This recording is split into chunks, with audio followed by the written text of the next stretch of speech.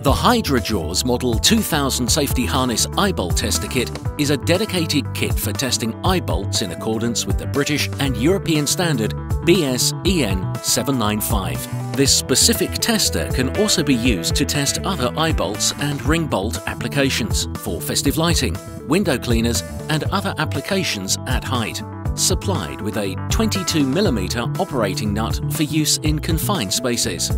For festive lighting applications, where a ring bolt is often located at the centre of a steel plate, we offer an optional 270mm load spreading bridge which provides the necessary width to span the plate.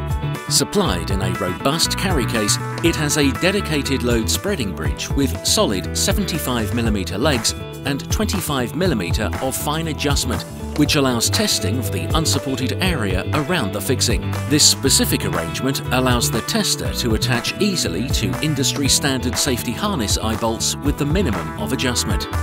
The tester kit is designed to accommodate a variety of ring bolt sizes.